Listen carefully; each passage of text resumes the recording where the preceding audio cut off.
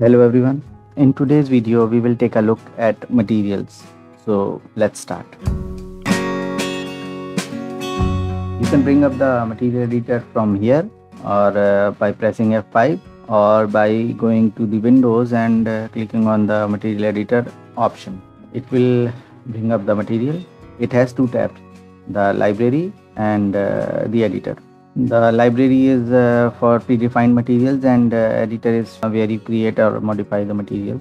So these are the options or types of material you can create. The first one is standard second uniform chroma matte and uh, particle.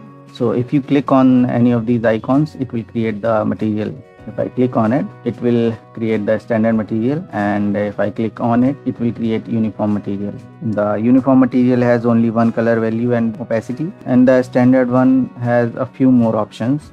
It's ambient diffuse specular opacity power. We will discuss a few of these in this video. Let's uh, delete these material and start afresh. Now let's create a cube and uh, keep it aside so, so that we can see the sides of it. Did you notice that as soon as i created the cube it also created the material for itself? It is a standard one. You can also see it here. The standard one is applied to the cube so come back. Now in standard one these are three color values. You can change and uh, it will change the appearance of the object Ambient is uh, constant from all the directions. Diffuse depends on the angle between the light and the surface. And uh, the last one is specular. Specular depend on the angle between the reflected incoming light and the eye. So normally ambient is uh, the darker shade of any color you want it to be. If I want it to be red, I will choose the darker color of the red or uh, even black. Then diffuse is the actual color of the object. So I think I want it to be uh, red in 200 I press OK. And uh, even if I set it to black it will show me red on the on the edges. And if I rotate it you can see it will change the color. And here you can see the shininess or specular is affecting the object. So if I change the specular it will be updated in the object. So if I make it yellow now you can see when the light shines from it it will be yellow or even if, if I, I can make it blue or green or some other color. But since uh, we are making it red so I will choose a lighter color of red. And uh, even darker color in diffuse and a little bit uh, red in the ambient.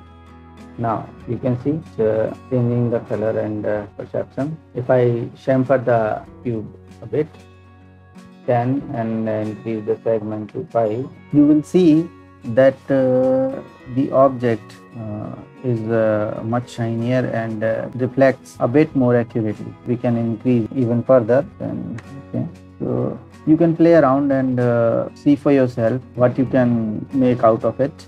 This is the opacity. So if i want i can make it transparent by changing the opacity value. It's uh, 10 you can hardly see it. Now 100 you can see a little bit. And if I place an object behind this cube you can see the object. Now if I change the opacity to 50 the object behind is more visible. And if I place 255 the object is opaque and you can't see behind the object now right click here you will see there are three options. This is the, the details of the shading of the material in the object. So if i change it to flat you will see the detail is let me zoom it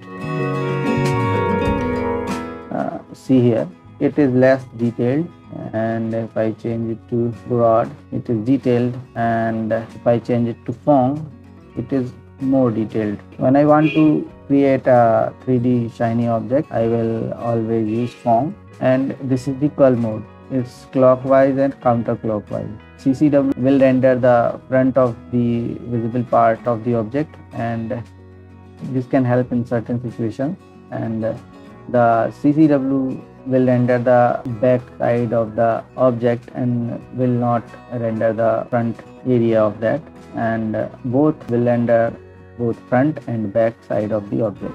Now I think uh, this is uh, enough for the video. So please stay tuned and uh, subscribe.